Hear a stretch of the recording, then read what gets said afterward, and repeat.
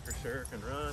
What uh, commands does she know already? She can sit and she can shake. Okay. Um, sometimes she'll lay down. She's really food motivated. Okay. So if she knows she's getting a real good treat in her, she'll definitely like respond. But uh, typically I'll have her like if I give her a bone, I got a couple chews I put in the bag for her too. Nice. She likes to just basically sit, shake. Sometimes she'll lay down. She usually roll down and give you a belly rub, but you kind of have to tell her that. Um, Fair.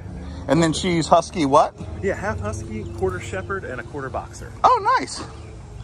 Yeah, that's that box of crazy we're talking about. Yes. Yeah. All right, fair enough. Yep. Um, Springy, crazy, and then uh, you know sometimes she'll like put her hand on you, like when she yeah, you know, like I'm like she's okay. like that's mine. Like when I was driving today, I was like, hey, it's like I gotta. Let me get here? Um.